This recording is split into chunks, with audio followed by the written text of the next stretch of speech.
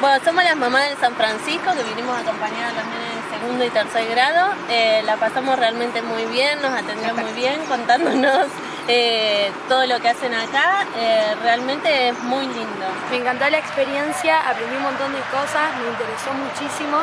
En realidad a mí no me gustaba mucho todo lo que tiene que ver a lo, a lo de la agropecuaria esas cosas, pero me encantó y me llamó mucho la atención y aproveché para sacar algunas fotos al Durano y me interesó mucho el tema de las plagas y eso, porque mi papá es productor, así que aproveché y cuando lo vea voy a informarlo para que, para que sepa de las nuevas tecnologías. Los chicos tomaron nota en todas partes, filmaron, sacaron fotos, grabaron eh, la información que les daban porque de acá van directo a hacer un trabajo, unos cuantos trabajos, este, y tratar de aprovechar. Y lo interesante es cómo ellos iban comparando el trabajo que se hace en la escuela en sus, porque algunos trabajan por ahí en algún vivero o en alguna quinta y este, ellos mismos iban comparando. Esto, ¿Por qué lo hacen así? Nosotros lo hacemos distinto. Así que, no, realmente muy interesante. La verdad que muy interesante. Yo hacía mucho que no, que no venía, que no visitaba INTA.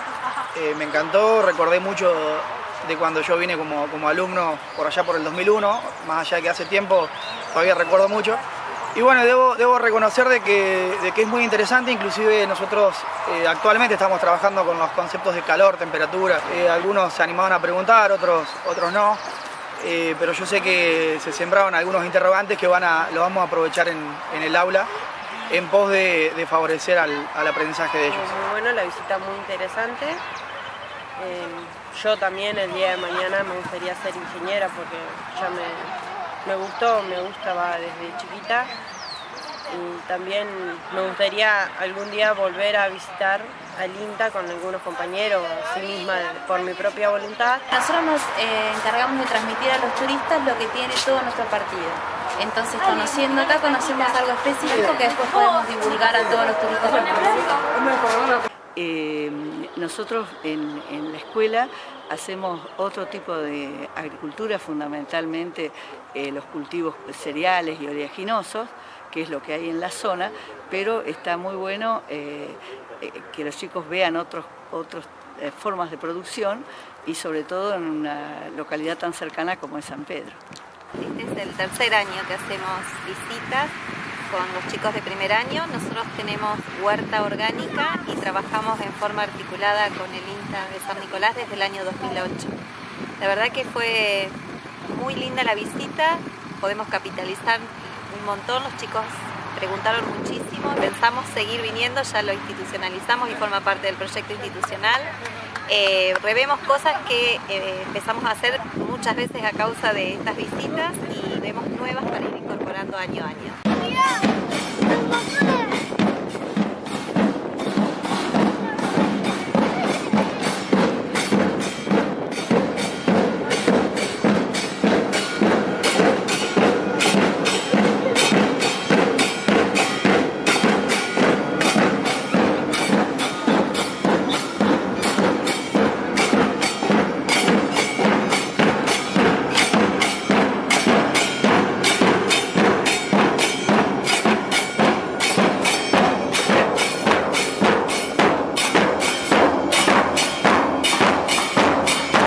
Estuve el jueves con mis alumnos de la Escuela San Pablo, eh, donde también nos brindaron muchísimo eh, conocimiento y muchísimas herramientas para que ellos eh, puedan en la escuela aplicar a través de una huerta orgánica que vine a disfrutar con mi familia, a esta apertura a la familia, maravilloso venir a conocer, que nos expliquen y de alguna manera llevarnos lo que ellos están haciendo que realmente es importante todas las investigaciones para el progreso en la agricultura.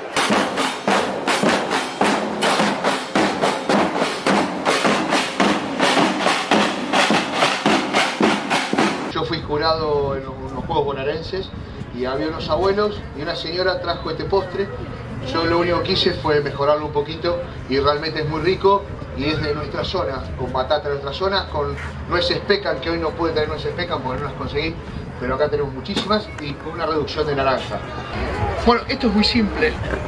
¿eh? Eh, pruébenlo, van a ver que con una buena bolsa de helado y con una de estas caliente es mortal.